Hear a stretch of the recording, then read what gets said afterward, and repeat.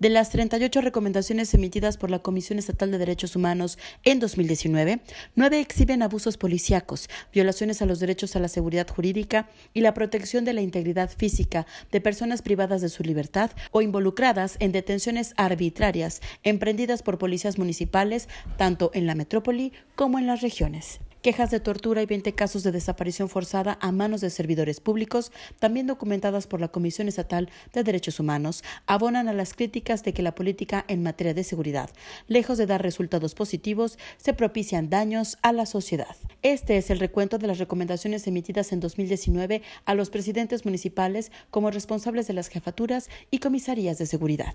La recomendación 37 se emitió el 21 de noviembre sobre hechos denunciados en Juanacatlán, donde policías adscritos de la Comisaría de Seguridad Pública del municipio ejercieron violencia física en una detención, causando fractura de mandíbula y diversas lesiones en el cuerpo de un adulto. Tuvo que ser intervenido quirúrgicamente y lo mantuvieron privado ilegalmente de su libertad.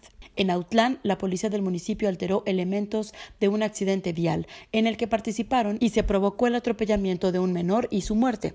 Después del accidente, con ayuda del Ministerio Público, intercambiaron unidades de patrullaje porque la que golpeó al motociclista ciclista no contaba con seguro de gastos que cubriera daños a terceros. Los hechos derivaron a recomendación 36 de 2019.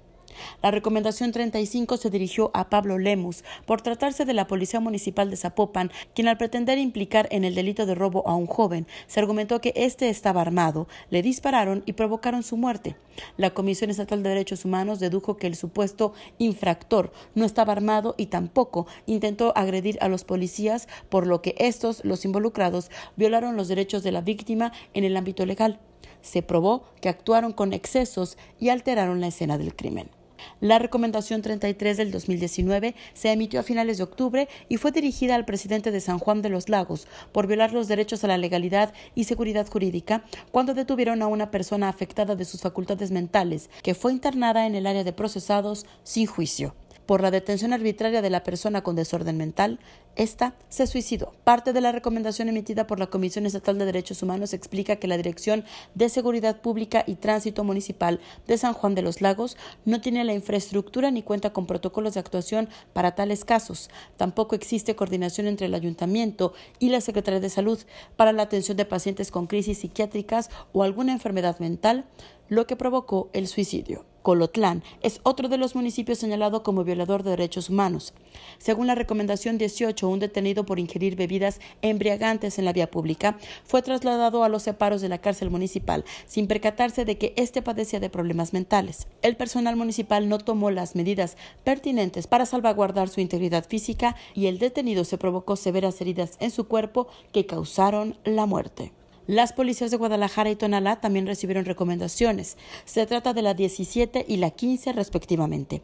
En el caso de la comisaría de Guadalajara, se probó una indebida actuación de los policías, quienes generaron confusión respecto a la verdad histórica de hechos, lo cual derivó de la criminalización de personas en un intento de detención y persecución de civiles que terminó con el abatimiento de una mujer que no estaba armada.